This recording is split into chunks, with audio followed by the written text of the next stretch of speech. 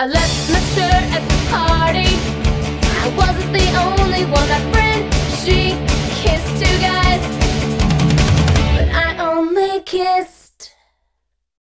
원래는 마른 편이라서 A컵이었는데요. 어, A75. 수술하고 지금 속옷집에 가면 E컵이라고 속옷 가게 가서 쟀는데 C컵이 나온 거예요. 와이어 속옷을 찾는데 정말 꽉 차더라고요. 태가 달라요. 가슴이 있으니까 쫙 달라붙는 옷 그런 것도 많이 입고 패션의 완성은 얼굴이라고 하잖아요. 근데 볼륨도 정말 중요한 것 같아요. 지금은 그냥 몸매가 태가 나니까 그냥 제 가슴 같은 거? 네, 따로 뭉친 거 없이 그냥 제 거 같아요. So I left my shirt at the party. I wasn't the only one. My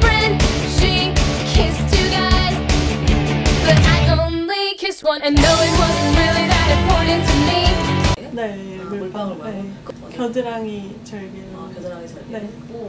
그렇게 아프지 않았어요. 왜 생각보다. 막 친구들 아프다고 해가지고 막 걱정 엄청 많이 했는데 저는 한 5일 정도 있다가 일을 했거든요. 그래서 또 팔을 많이 움직이는 거라서 힘들긴 했는데 어, 근데 잘 했어요 일은. 저는 이렇게 그냥 물방울이니까 이게 좀 흘러내리는 그런 게 물방울이잖아요.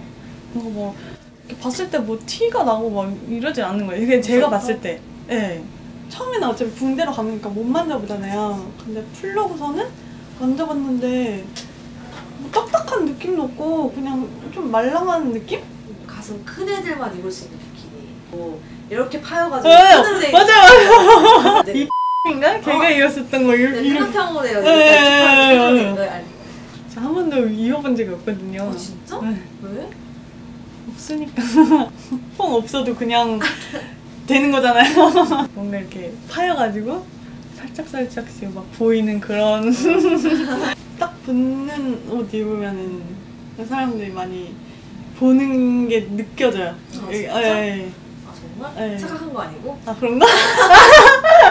진짜 하길 잘했다. 어, 어, 말 엄청 많이 했네요 저.